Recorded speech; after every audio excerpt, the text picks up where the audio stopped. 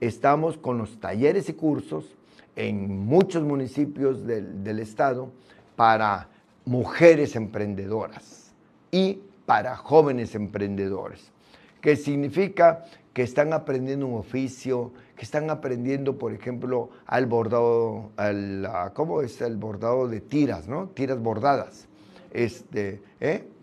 Del omillo, del omillo.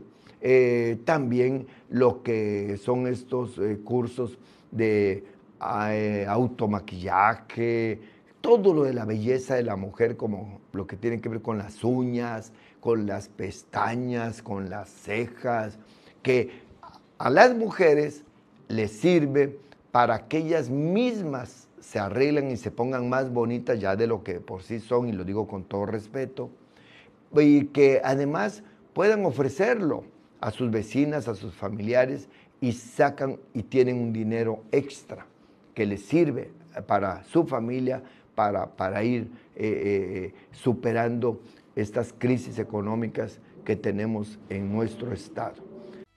Mira, tú conoces a Cantón.